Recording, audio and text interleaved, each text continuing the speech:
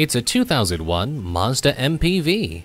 It has standard bucket seats, an overhead console, a sliding driver's side door, power mirrors, and tilt steering.